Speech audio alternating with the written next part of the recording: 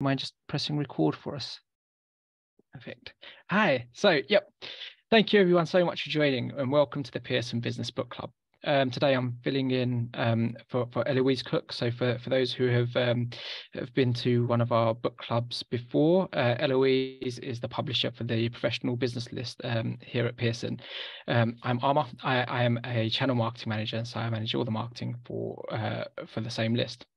Today is a, a really, really special day, um, and we're really excited about it actually because it's um, we're celebrating our first year anniversary of the book club. We uh, we want we launched uh, this time kind of last year, uh, and I remember we started off our, our first one with um, zero people on the subscriber list and and around twenty people to sign up for for for our first event. Um, and now kind of we've fast forwarded a, a year and we've got oh, almost 11,000 people now signed up to our mailing list um, uh, and kind of oh, almost 200 uh, people registered for today, which is which is great. So we've come a really long way. Um, if anyone is interested in seeing the um, the past sessions, you can visit the the book club website uh, and you can see all, all of our past kind of videos as well. If, if you've not joined before, uh, we choose one Pearson business or professional development book uh, every month, uh, and we invite the, uh, the author to our book club uh, to discuss it. Uh, they also give a masterclass on a key concept from the book. Um, and just to let you know, if, if you need to leave halfway through the event, the session is being recorded and the video will be available on the book club website after the event.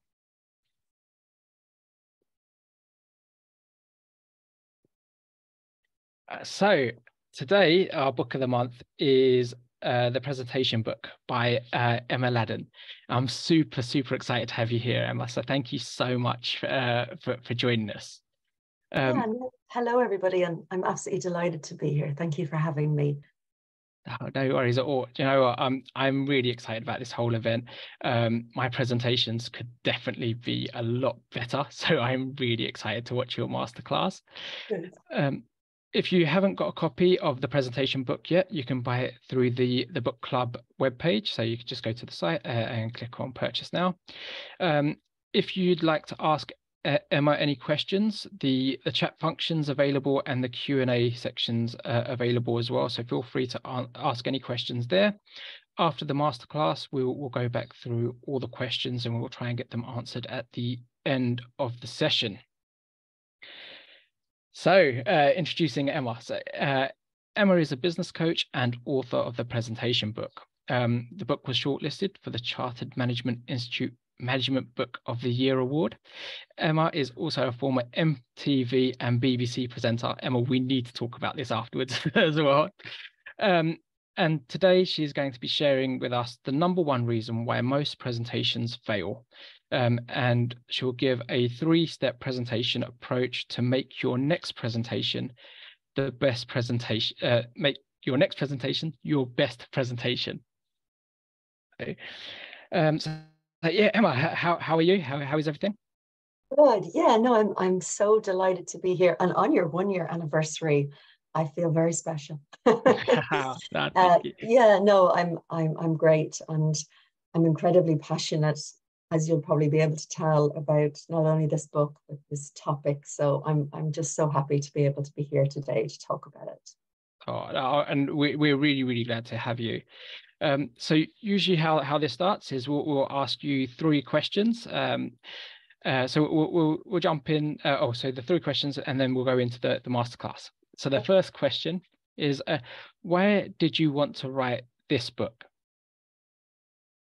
So, um, as you mentioned, I had a, a career or a former career. Um, for 10 years, I worked exclusively as a TV and radio presenter um, for BBC and MTV. Yes, lots of stories. That's another another presentation.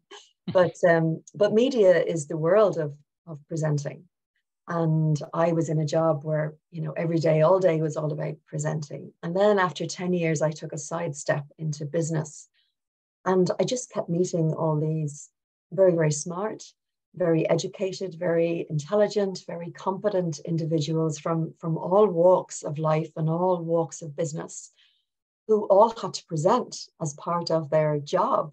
even you know they weren't even expecting it sometimes to have to present so much and no one had ever really taught them or showed them how to do this and they were confused they were unsure what to do. They were using powerpoint as a as a crutch from what i could see. Um, and, and they just they really didn't know. And also there was a lot of what i would describe as uh, myths around uh, presenting myths you know lots of sort of oh you don't have to prepare you just stand up and do it or oh people on tv just naturally are like that. And i mean nothing nothing could be further further from the truth you know? The amount of research production and preparation that goes into what you see on tv would would astound you. So i wrote this book because after eight years of working with these wonderful individuals um, i realized there was a massive challenge out there and that you know through my own experience and also working with these people i developed a very simple three step approach to help you know all of the business individuals out there that you know when they stand up to, to really stand out and and feel good about it. You know it's not easy to stand up and put yourself out there. It's a really vulnerable place to be for everybody. Um, and you want to feel as good as you can and as prepared as you can. So you know my goal is to help people do that. And that is why i wrote this book brilliant. And um, i mean i'm definitely one of those people. So I've, I've, done both approaches where I've, I've tried to wing a presentation and just tried to jump in there. And i've also tried to prep but actually um, yeah it'll be great to see the three step approach and uh, and how that works. So um, our next question is what surprised you about writing this book? So I, uh, I think there was two big things. The first, on a really personal note, and without sounding too twee about it, um, I, have had some wonderful experiences. I've got to interview movie stars and rock stars, and go to some very cool VIP events and all that cool stuff. Um, but but the truth is, it was only when I was writing this book that I guess I really felt like I had um, found my purpose. So, of everything I've ever done, I suppose writing in general, but writing this book, because this was the first thing that I'd ever properly written, you know, outside of school, really. Um, I just, I loved everything about it. I just loved everything about sitting down and writing it. And then in turn, I love that it's out in the world and you know any given day you can get an email or a review or a note from someone who who again has challenges in this area and is is, is just trying to do their best. Um, and they'll send you a note saying look I, I read the book and it really really helped me you know cleared up that confusion or it empowered me or it gave me confidence. And that is not only very humbling but it's it's very special especially now that you can get that from you know anywhere in the globe type of thing not just the people i reach individually. So yeah, they were the two probably surprising things. How much I I loved it and how much it felt like home to write, and then just reaching people I could never have reached one to one, and the book having the impact. I guess I hoped it would, but, but you don't always know if it's going to have the same effect written down. You know. That makes sense. I mean, it's always it's always good to know kind of that that what we've done is kind of had an impact, right? And um, yeah uh, I, I, was at a, a, seminar recently, and actually, and one of the things that someone said uh, there was actually you can get a lot of information online. Like there's a lot of information, but actually some of these books have have golden nuggets. Actually, that some things that you may not have noticed or may not have thought of before. And actually, it's great to know that actually that someone's picked up the book and actually read it, and and actually what they've taken from that is kind of helped them progress. Right? That's a Awesome. Um, and the last question that we have before I pass on is how do you want readers to feel about reading your book? Yeah, so I guess if we go back to some of the challenges um, when I meet people and I work with them, um, something that comes up for a lot of people is, is just how uncomfortable and how nervous or anxious, and people have different words for it, you know, how they feel when they're presenting, putting themselves out there. And as I mentioned, it's a really vulnerable space, you know, and we are being judged, which is awful, you know, and that makes everybody feel uncomfortable, you know, that's that's hard for all of us. And um, I'm not able to make anybody feel like really comfortable because because I actually don't believe that's how it works. I don't think I've ever felt comfortable presenting. You're not really supposed to, but but you can feel really good and you can feel confident and you can feel in control and you can feel like you own your message. And you can feel like, you know, you are the presentation rather than, you know, the slides being a crutch. Like you you really can feel very very empowered. And like you're really going in there um, with a message that you can deliver and it will get a result. And i guess that's ultimately what i want people to feel to, to not be focusing so much on how they feel which is totally normal you know we're in fight or flight. Every individual when they present is in fight or flight. It's just part of it you know and it's okay. It's just managing that and feeling confident enough within that to deliver this really great presentation. And that's, I suppose, the the gap I'm hoping to bridge is to take take it from a place of this is very overwhelming and I'm in pure self-survival mode to okay, you know, there's butterflies in the tummy and oh, deep breaths, you know, and the heart is racing, but you know, I've got this and I'm in control of this and I'm clear on what this is all about and I can do this, you know? That makes a lot of sense. I like it. I think, in my opinion, I think there's, you get two types of people, right? You, you see the ones that are super confident that can present really, really well. Uh, and then you get the other ones that you could tell that are really nervous.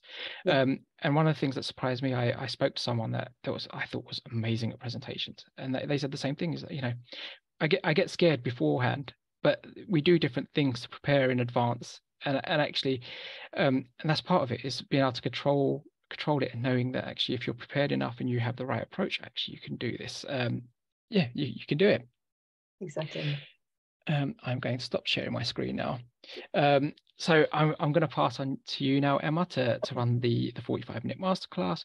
Um, just to let everyone know before before I pass on, if you do have any questions, feel free to put them in the chat or in the, the Q&A uh, and we'll get to them at the end. So, Thank you, Emma. Okay, I'll, I will just share my screen. Okay. Well, get it up here from the beginning. All right. So um, I hope everybody can hear me okay. And uh, please let me know, Ame, if it's if it's not coming through okay. So what I'd like to do today is talk to you all about the number one reason that presentations fail. And to do that, I'm going to tell you the story of the Space Shuttle Columbia. In January 2003, the Space Shuttle Columbia launched from Kennedy Space Station. There were seven astronauts on board, and this is them. 82 seconds after the shuttle launched, there was what was called a foam strike. So when a shuttle launches, there tends to be quite a lot of debris flying around, and that debris will always strike or hit the shuttle. And NASA called that a foam strike. Now, foam strikes happen all of the time, every single time there is a shuttle launch. But in January 2003, the engineers in NASA believed that this particular foam strike on that day was bigger and faster than any foam strike they had ever seen before. And they believed the shuttle was damaged. They believed there was now a hole in the wing and the shuttle was now in space. So what the engineers needed was a, a, photograph, a satellite photograph of the shuttle in space to see if there was any damage. Now, this was not as easy to get as it may sound because it's a very expensive thing to get a satellite photograph. So what the engineers had to do, the engineers all the way down here in NASA had to convince the senior managers all the way up here in NASA to pay for this photograph. And this was challenging because foam strikes happen all of the time. So, like, what is the big deal about this foam strike versus all the other foam strikes? So, the engineers put in a few phone calls, sent a few emails, and eventually the senior managers in NASA came back and said, okay, come and tell us what the problem is with this particular foam strike. So the engineers did, I guess, what any of us would do if we were going to speak to senior leadership. They put together a PowerPoint presentation. Now, there was quite a number of slides in the presentation. And what I'm about to show you is the real presentation It is the very last slide of the presentation. And on that slide was the, the key message or the critical message the engineers were trying to get through. So it's not immediately clear, I don't, I don't think.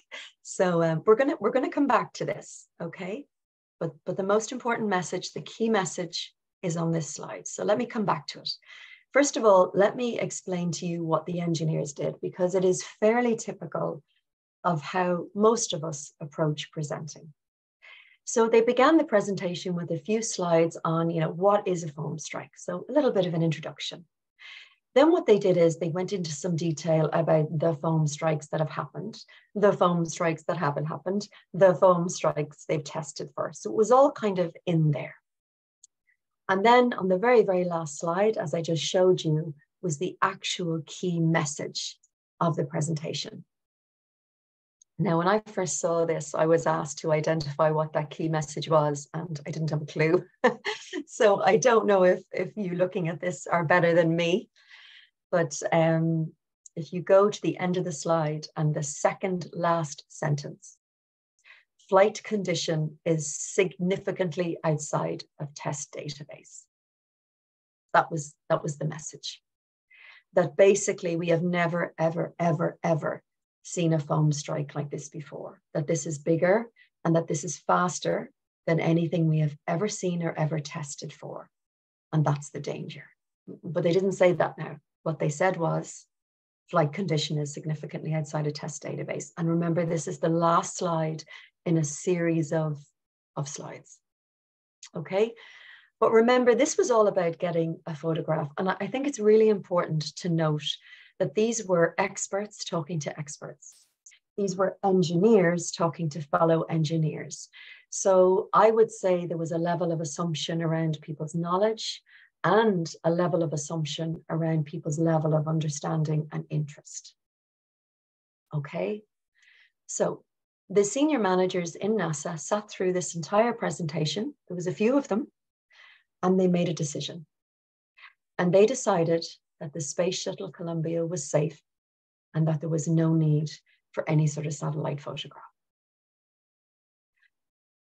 On the 1st of February 2003, the Space Shuttle Columbia disintegrated as it was re entering the Earth's atmosphere, and all seven astronauts died.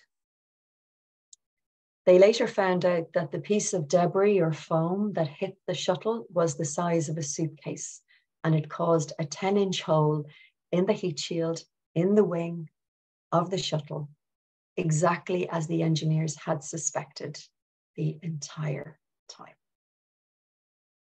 So, as you can imagine, after you know such a tragedy, the Columbia Accident Investigation Board was set up to try and figure out you know, what happened here and what went wrong here. So they really investigated two core areas. So they did look into the, the culture in NASA, and this is a huge report, and they had a lot of things to say about the culture, about the engineers down here and the senior managers up here. Um, they had a lot to say about that, but they also looked into the communications in NASA, specifically into the presentation that I shared with you, this particular presentation, the presentation given by the uh, engineers on the ground to the senior leaders in NASA. And there was one core finding, and it's this that despite slide after slide after slide of data, the actual critical message never actually got through. The, the point never actually got through. They were very, very critical also of the use of PowerPoint as a tool. So they basically came out and said they felt the important message was lost. They felt that PowerPoint was an obstacle to internal communication, that the use of PowerPoint and the way it was used had a dampening effect on clear thought and expression. And had the uncertainties been more clearly expressed, the need to inspect the wing may have been more obvious. So that last one is a big one. Had the uncertainties been more clearly expressed, the need to inspect the wing may have been more obvious. So the message was lost. Why? Why was the message lost? So, first of all, the engineers, when they were compiling this really important presentation that they were really nervous to give and were in total self survival mode about going to speak to their senior leaders, they were not actually thinking about the audience. They were thinking about themselves. And I know this because they asked them, What were you thinking when you put this together? And they said that they were thinking about, you know, coming across as credible. They were thinking about how important it was, you know, to, to have all the facts and have all the data. Um, and they were just really thinking about how they were going to come across to their senior leaders. And because that's all they were thinking about, or because they were in that kind of self survival mode, they just wanted to survive this presentation, to look competent, to look confident. They weren't able to structure and plan the information in the right way because truly that key message that should have been right up at the beginning. Now, should they have backed it up? Of course, they should have backed it up. Like, of course. But should they have walked in the door, you know, slammed their fist on the table and said, we need a photo or seven people are going to die? That's a little bit dramatic, but it definitely should have been upfront, not left till the second last line on the very last slide. And we're going to talk about this today.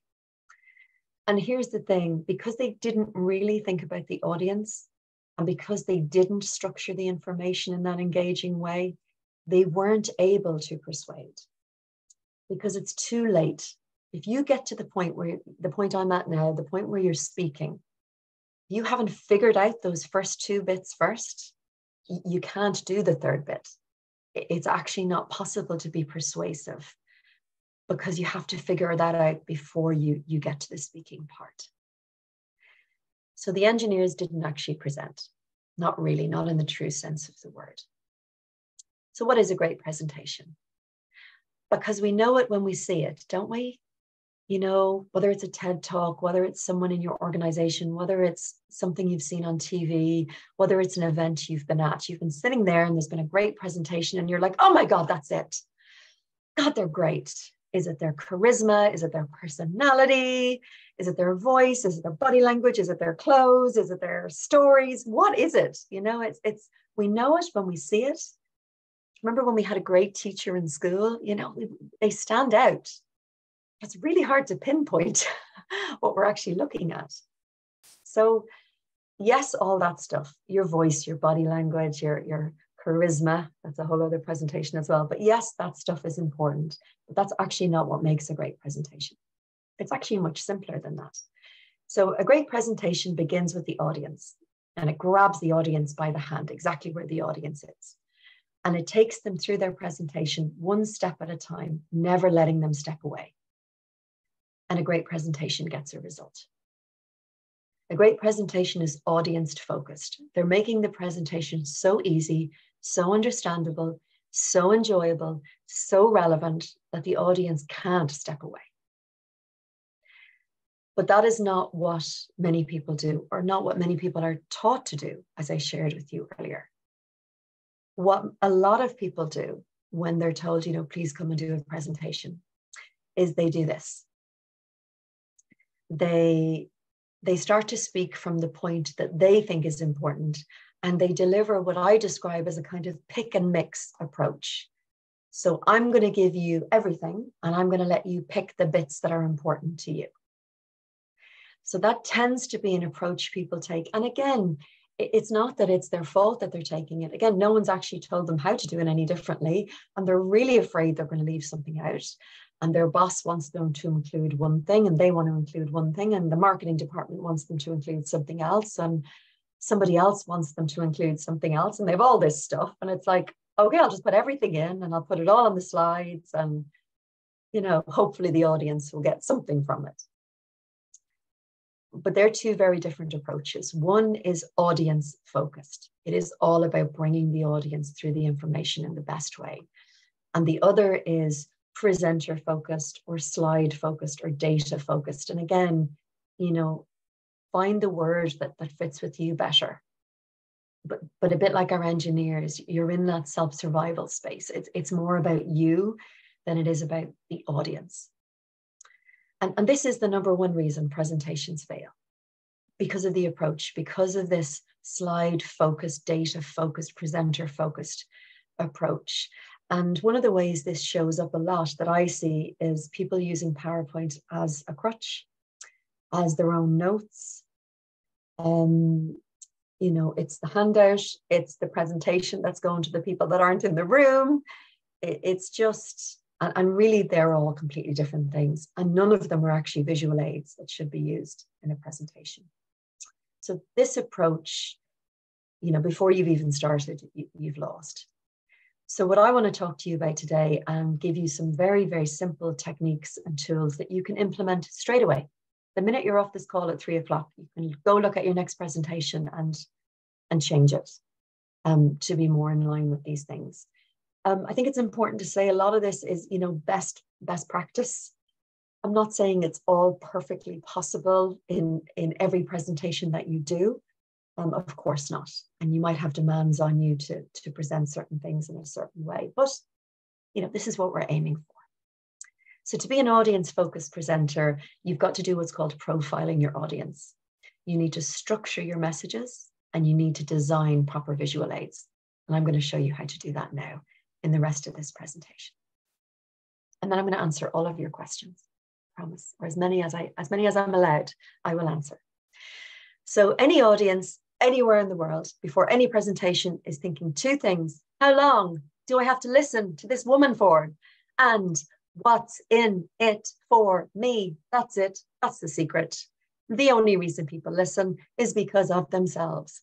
We listen because we are interested. We listen because we are going to gain, or we listen because we are terrified we're going to lose. So if we don't listen, something negative is going to happen to us. Okay, so that's why people listen. So that's what I mean. It's not really to do with charisma, personality. I mean, all that stuff is great and it absolutely adds to this. But ultimately, people engage with you out of interest, benefit, and fear. Now, here's the thing are you ready? You are absolutely not allowed to rely on interest in a presentation. What? What? She says. So, the problem with interest is yes, you might have it, but A, you don't really know. And B, you don't really know how long you have it for. So it is risky. You can do it, but it is very, very risky to build a presentation that assumes, and it is an assumption, that assumes people are going to jump on with you at the beginning, stay with you through the whole thing, and get to the result.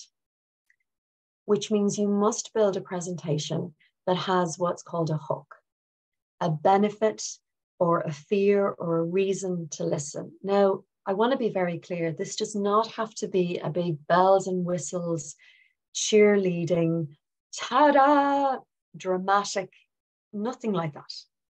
Nothing silly, um, nothing out of the ordinary, nothing over theatrical, just literally a reason to listen. Why should they give you their attention? What is the benefit? What will they gain? Or what will they lose by not listening to you? And you got to do it very quick.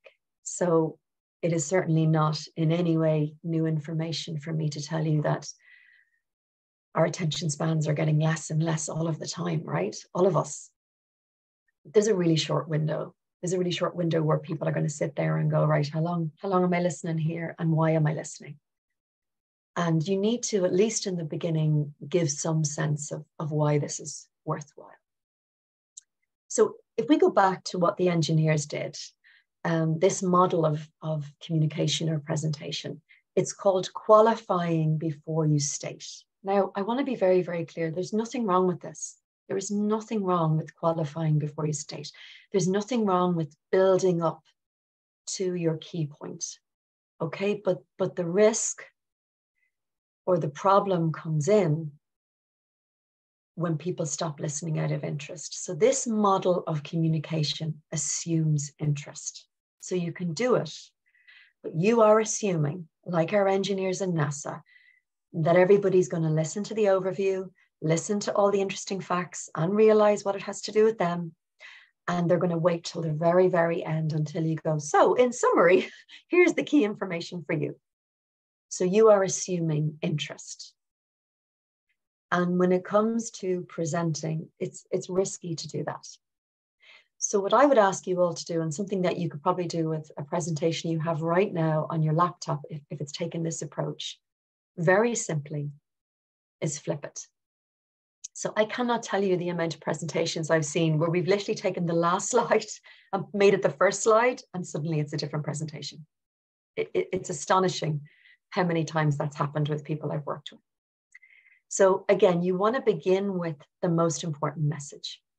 Now, again, I can't state this more clearly. There is probably 500 ways that you can do this, depending on the audience, depending on the message, depending on the presentation, the tone, the mood, the goal.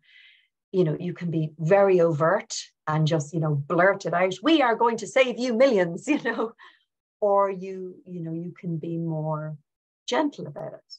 You know, we're here today to talk to you about a way that we can help you do business better. Or so, you know, you need to decide based on the presentation what level of, of hook, what strength it needs to be um, but it needs to be there right up at the beginning. So again, if we go back to our engineers, as I mentioned, they could have come in and slammed their fist on the table, but I'm not sure the culture in NASA would have allowed for that.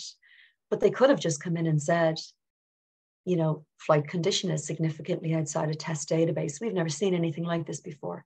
We really believe these guys are in trouble. You know, we need a photograph. And it, if they had just said that at the beginning rather than the end, it would have changed the presentation. Now, do you still need the supporting data and information? Of course you do. And in no way am I expecting you to leave that out. So you're going to bring that in after you kind of make this compelling first point or this hook. But again, there's there's a trick here too, that when you're going through this other information, you must make sure you continually loop back to the hook. So again, our engineers in NASA, you know, we believe this foam strike is outside of anything we've ever seen. Okay. So then they go into, you know, five years ago, we had another foam strike. It was half the size, half the speed, and it, it did a little bit of damage. And that's why we believe this foam strike has done more damage. So you keep linking back for the audience. And that's basically influencing. That's what influencing is. It's, it's linking the data or the points back to the main point for the audience. Now, you can let the audience do that. But again, you're assuming they're going to, and they're going to do it in the way that you want. Whereas a really, really good presenter will try and make those connections where humanly possible themselves. So this is called stating before you qualify and then and then influencing as you go through the data. And again, this is something you can do straight away with a presentation you have probably on your laptop right now, changing very little.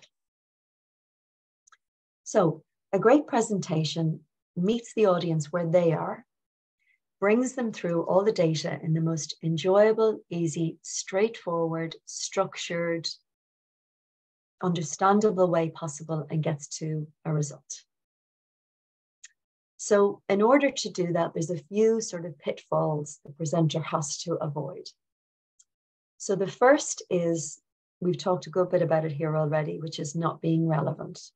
If at any stage the presentation becomes irrelevant for the audience or the audience member feels, oh, you know, this, this is not for me. The what's in it for me just isn't there. I'm not interested. There's no benefit. And I'm not going to lose out in any way if I, you know, if I turn off this Zoom, then it's going to be very hard to, to keep their attention because you don't have any of the three areas. So data overload is another big one. So look, this is a very, very tricky one because I don't think any, any of us are short of data.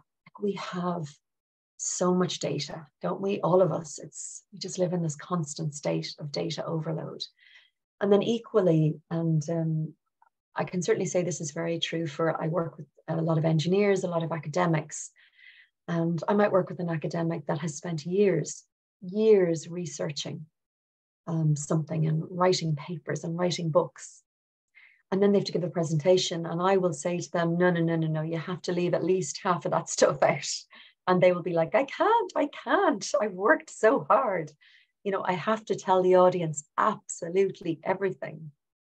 but you can't because no audience, no audience on this planet is able to take in that information. It's just cognitive overload. So you have to know what to leave in and what to take out. So you have to have your, your bag of data beside you, and based on the audience, you pull out the bits that are relevant and you build a presentation in the order that will keep the audience connected. If at any point the audience stops understanding, they will step away even just for a minute. So this is where you have to be really, really careful of concepts, jargon, and acronyms. You know, industry speak. And look, all industries have a language. Publishing has a language, media has a language, um, presentation has a language, learning and development has a language. We all have a language. and absolutely there's an argument for you know within the industry we understand each other definitely to a point but equally I, I, I still and i've had experience of being in rooms where people where there's arguments over what an acronym means i thought it meant this no i thought it meant that and a bit like our engineers in nasa sometimes it can be really really dangerous to assume a level of understanding or a level of concept understanding that just may not be there so sometimes it can be best to speak in first degree words, not baby talk, but just in simple English that everybody can understand so that people don't have to step away to just kind of process it. Because that's all they'll do. They step away and they'll go, but then by the time they step back, you're, gone. You're gone off your, your kind of travelator, your presentation travelator, and they're not able to catch up with you. And then finally, the use of PowerPoint can be a real blocker when it comes to delivering a really fab presentation. And I guess this is the last um, area that I want to talk about for today before I, I take your questions. So I, I, I'm guessing, hoping not today, but I'm guessing you've all experienced death by PowerPoint. Um, I think it's pretty much what this picture indicates. So death by PowerPoint is your presenter that stands up, you know, with the slides full of text and just kind of reads and you're sitting there going, this was all you were going to do. I could have read it myself. So I think we've all experienced, you know, the death by PowerPoint. And again, it's really understandable why people do this because it's it's just so daunting to be up there. And if you're really confused about what to leave in, what to take out, what to say, what do you do when there's a mixed audience?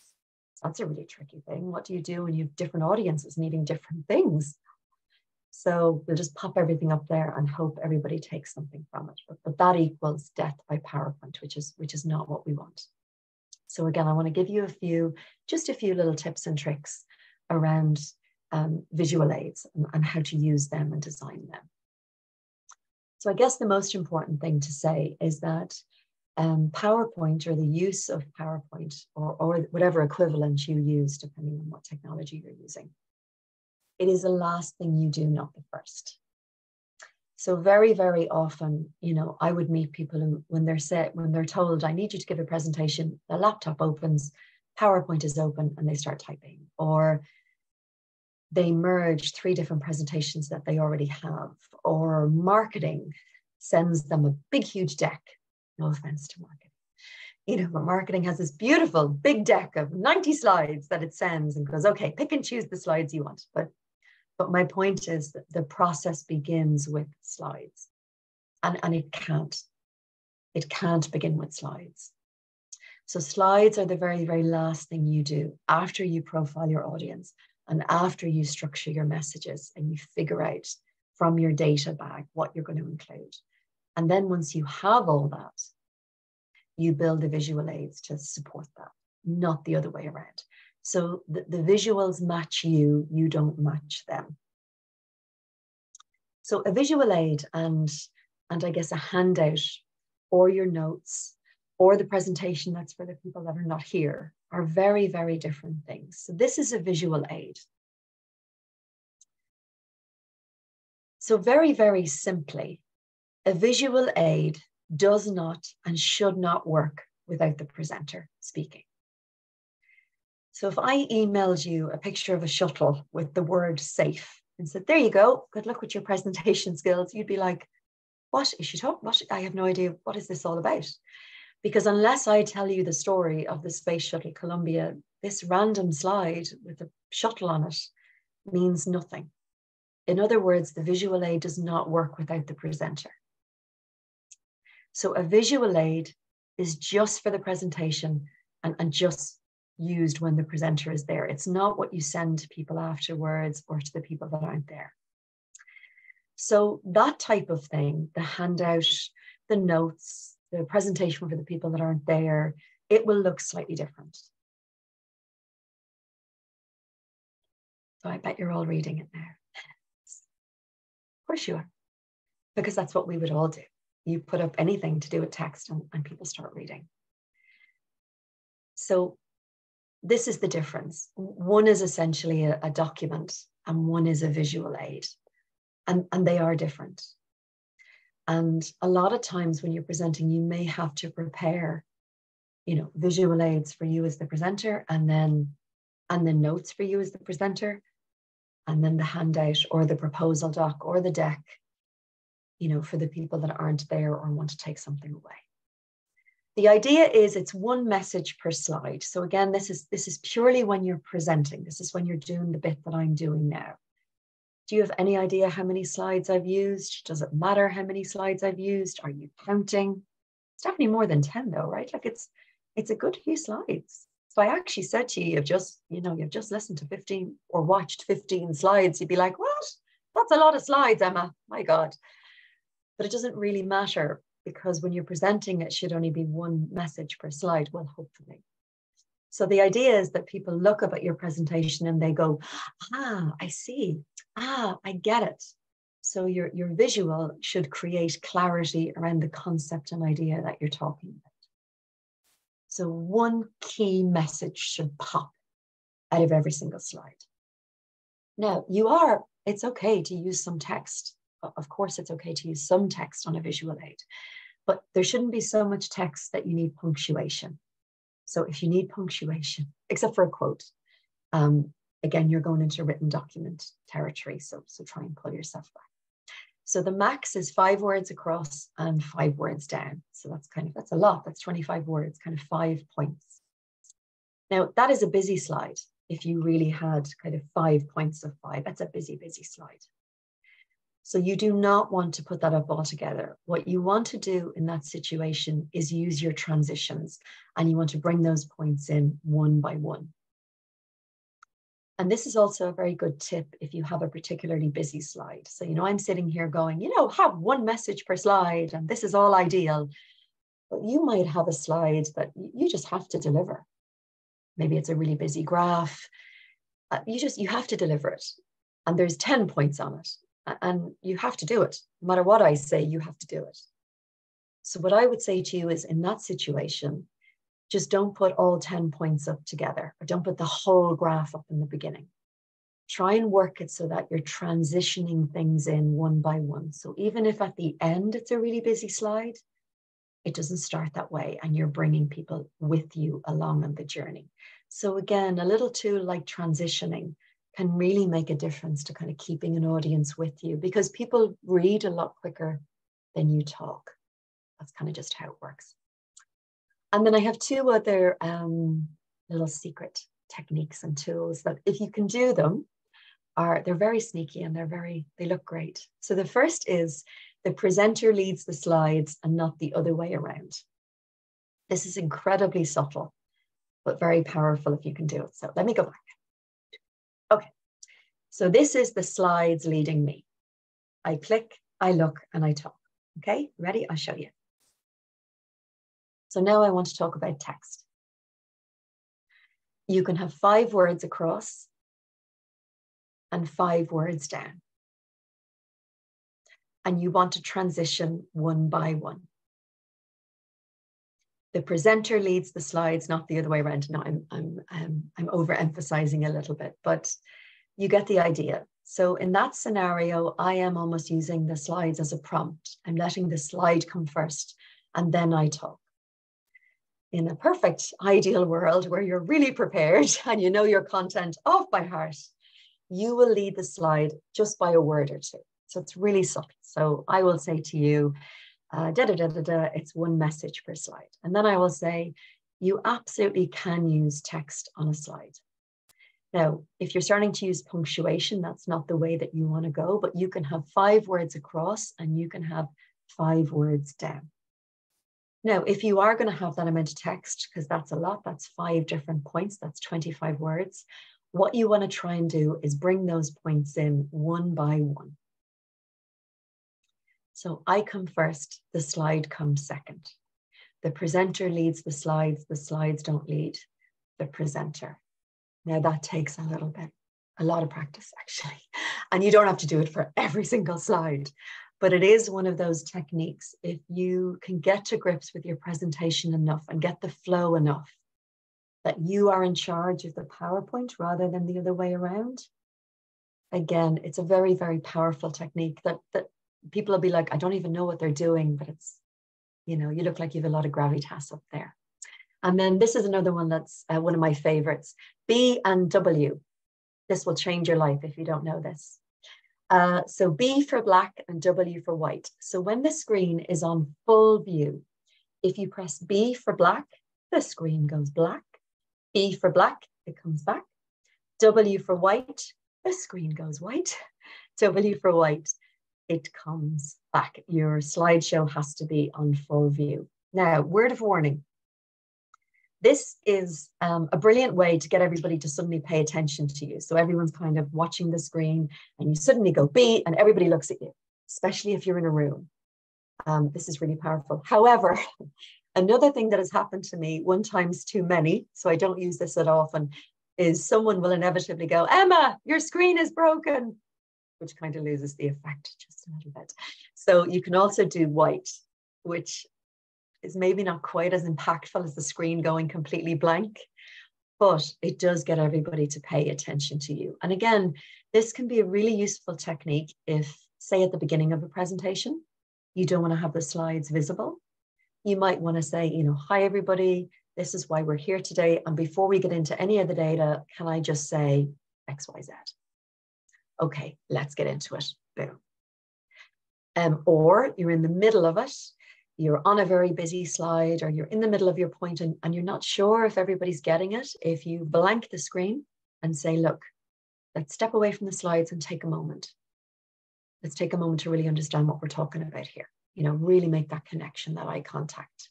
Get everybody away from the screen and focused on you. Now it's scary because everybody's focused on you, but it's it's a really useful technique. And again, if you have a busier slide deck and, and you're trying to sort of integrate some of these principles, but you can't really change the content, really useful delivery tool. So B and W. And if you have a clicker like me, you can blank the screen with the little, the little square as well. But as I said, please be careful of black because it can look like your your slides have gone down, which will totally interrupt your flow if someone says it to you. So audience focused presenting, there's three core points to this approach. This approach I want you all to take away and start to implement um, with all your communication, but obviously especially your presentations. Profile your audience. Who are they? Why are they there? What's in it for them? What's the benefit? What's the fear? What do you need to tell them right at the beginning in the right way to get them to, to take this presentation seriously? Structure your messages. So you got to have your messages, you got to have your data, you got to have your information, but have it in the right order. Have a beginning, middle, and end. have a middle, don't have a muddle. Um, make it three separate points, make it flow. You know, make sure it all connects. And then make sure once you have those two pieces in place, you design really strong visual aids that support not only you as a presenter having to stand up and do this, but the content and the messages that you are trying to get across. Now, if I had five hours, I would sit here and talk to you about presentation skills and all the other parts of presentation skills because there is all the body language and the voice and the performance piece and the standing and what do you do with your hands. Um, you'll have to get the book to do all that, or I'll have to come back and do a part two. But but for today, um, because really 90%, 90% of the success of your presentation is, is determined here. You get this right. You have a connected audience, a structured presentation, and really strong visuals or, or no visuals. You don't have to have visuals. That's the other thing to say. You don't even have to have them and only have them if they're going to complement your presentation. You are, you're 90% there. And then it's just the delivery stuff, which is important. But if you get this bit right, the rest will come because you're going to feel really good about what you're doing. So it's then just doing your rehearsal and getting your getting your flow. Okay, I'm going to stop there. And I'm going to say thank you. And I, I can see that we have four questions already in the question box. So I might exit my own presentation just so that I can, yeah. And um, oh, okay, a quarter to three. So we've just a few minutes for questions. And, and as I said, I can see four already in the chat. Um, Ame, I don't know if you want to talk me through them or. Yeah, oh, cool. Uh, um, thanks so much for that, Emma. And yeah, I think uh, it was fantastic. Um, the questions so far. See, I can't actually see them. oh, oh, that's okay. So I think we have, um, thank you, Jeanette. Thank you very much. I like the pace of the presentation. Uh, Jennifer had to jump off, so yes, just to, it will be recorded. Um, and actually, there doesn't cool. seem to be. Yeah. No worries. So, um, that's fine. So if, if you if you have any questions, feel, yes, please, please, feel free to put them in the the Q and A or, or the chat function uh, now, and we'll try try and answer them. Emma, I think that was absolutely fantastic. Oh. Um, you know what? I've I've been one of those people that do the pick and mix option right at yes. the beginning. Uh, and I'm really guilty of putting lots of um, text on my slides. So uh, you know, I always have more than one point. so uh, yeah, it's um, it, I've taken a lot away from kind of what what you said. Um, so I've I've got one question come through so far. So um, nice session. So what is the ideal time that should be invested in making a clear and efficient presentation which highlights the key message properly? Yeah, so that's a great question. Oh, oh my goodness. How long have you got is the question. So um, you know, it's funny when I when I first started doing this a long time ago when I when I first moved out of media and you'd asked me that question, I would have been like, you need to do 10 hours because that's how long it takes. And you know, there is an argument for, you know, lots of rehearsing and lots of preparing, you know, for your TED talk style talk. And if you're ever doing a TED talk, I would recommend 10 hours of preparation, definitely. But you know, the, the truth is we we don't have that kind of time. You know, nobody has that kind of time really, unless they are doing a huge, really high investment presentation. So that's one of the things in the second edition we looked at. You know, if you only have 15 minutes, which bit do I do? If I only have 30 minutes to prepare, which bit do I do? If I have an hour, what do I do? So what I would say is give it as much time as you can. And I, I really mean that. And it probably needs more than you think it does. So, you know, there is the steps to go through the profiling the audience. So you you can do a very simple profile of just sitting there and going, okay, if I was them, what question would I have? Right up to you can reach out to them, send them emails. If you know the audience, you know, I'm coming in to see you, what would you like me to cover? Da da da da da. Um, the same with structuring you know, you can sit down and do a high level beginning, middle, end and sort of put your data under those headings, or you can literally be crystal clear on every single point that you're going to do, depending on, on the time. Uh, I would say a rehearsal is vital. So when we stand up to speak for the first time, there are probably 50 different ways a sentence can come out of our mouths. So have you ever had that experience where you absolutely in like in your head you're amazing. Like you're amazing in your own head. You know exactly what you're going to say. And then it takes you 30 words to say something that you know you could have said in 6 words, right? But but that's what we all do. Because when we're actually speaking it out loud, it's uh, all the ums and the ahs, and because we haven't found our pathway. And unfortunately, when we do that, when we um, when we are, when we take that little bit too long to get to, to a point, it shows that we're unsure.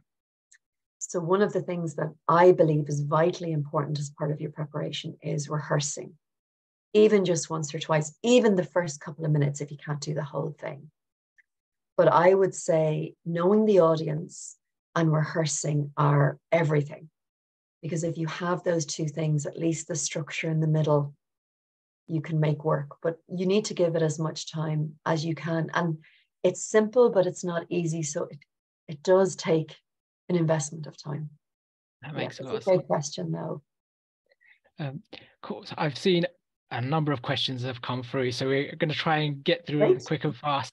Um, so first one is any tips for dealing with interruptions? Yeah. Oh, so interruptions are hard, especially when you're when you're in a flow. And the truth is interruptions are in a way they're really positive because it means somebody's really engaged and they either want further clarification, which is good, or they're just really excited and passionate and they want to kind of get involved. Um, so you have an option to sort of say, hey, I'll answer questions at the end, no questions till the end. It's never an approach that I have gone for, even though I do prefer it, because it can put up a barrier. So I think you have to allow for questions. Um, one, two, obviously, if someone is is nearly taking over the presentation, you know, you might want to say to them, look, I would love to have a conversation with you afterwards, a sidebar, a one-to-one. Or I'm you could say to them, obviously very politely, you know, I'm actually coming to that point in a minute, or would it be okay to hang on till the end? And I'll get to that point. And this would probably be only after one or two interruptions. So it's tricky because it's a positive thing, but it can really disrupt your your flow. And actually, I see here, and I would like to answer this is there a danger of choosing a visual aid that's too distracting? Yeah. Yeah, like visuals are a bit like telling a joke. You know, when people go, oh, tell a joke at the beginning. Mm. So if you're really funny, tell a joke. Maybe. But but even if you tell a joke, ultimately the audience will go, ha ha ha, why am I here? Ha ha ha, why am I listening? You know, so a joke is not a hook. It, it can be a lovely way to diffuse a room if you're funny, but oh my God, if it doesn't work, it's awful. It's awful for you. It's awful for them, and it's it's just awful on your self confidence. So again, you don't need a gimmick, and yeah, you do have to choose your visual aids really, really carefully. Um, yeah, so yes, there is a danger. So you do want to think about it.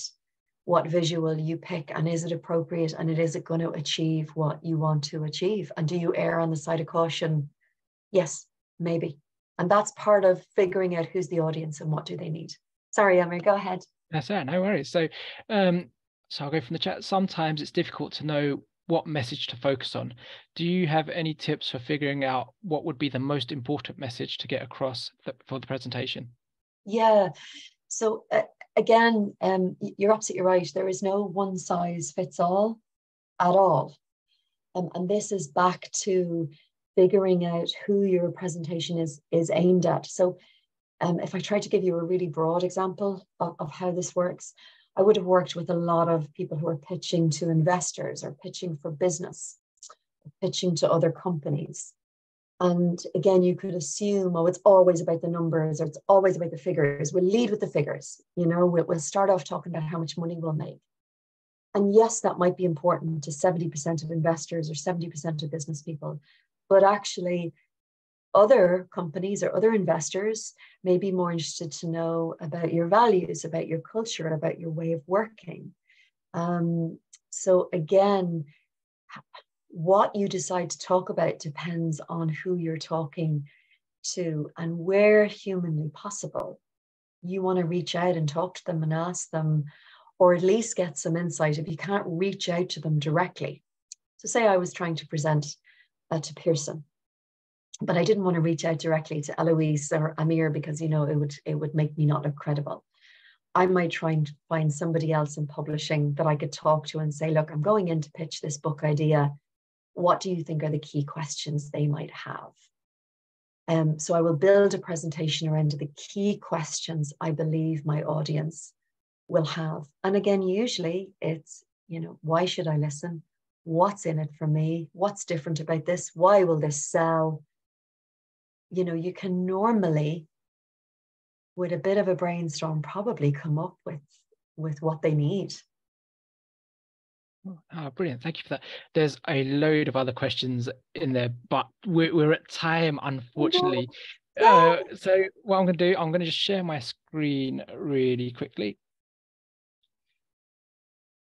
Uh, so let me try and do all of this. So uh, put this back into presentation mode. So just really have... quickly, I have to I have to answer this really quick question for the person wondering about the co-presenting. So tricky. It astonishes me that people co-present and don't come together. If you can't manage to do it together, just do your bit really, really, really well. But but try and get the person on board and do this process together at the very least. Um, or even you offer to do it and then give them slides to work with. But it's tricky because a co two people presenting should be one presentation, not two presentations. Sorry, sorry. Go. That's okay. No, no worries. If, if you do have any questions, and, and I know there was a few that we, that we weren't able to answer, um, you can get in touch with, with Emma on LinkedIn or sure. through through Twitter. Yes, and thank you all for for staying with me, and I hope you enjoyed it. Oh, uh, it's been absolutely fantastic. I've I've really really enjoyed it, and I, it looks we've got loads of positive comments come through as well. Um, and just quickly before I I end the session, uh, our next uh, Business Book Club event is um, with Greg Orme, the author of The Human Edge, and it's going to be a masterclass on demystifying the superpowers of ChatGPT. Uh, the event is on Tuesday, the 25th of July at 2 o'clock, uh, and you can register for the event by visiting the book club uh, page uh, and just registering. And if you sign up to the mailing list, we'll let you know um, all, all, all, the future events uh, as and when they they come through. Uh, I'm going to stop sharing there and just finally just saying thank you so much, Emma. Like it, it, that was amazing. I really enjoyed it, and thank you so much to everyone that that um, for for kind of attending the event. And um, yeah, we look forward to seeing you all on the next one. Super, and thank you. Awesome first hosting, by the way. Thank you. yeah, I really appreciate it. Yeah,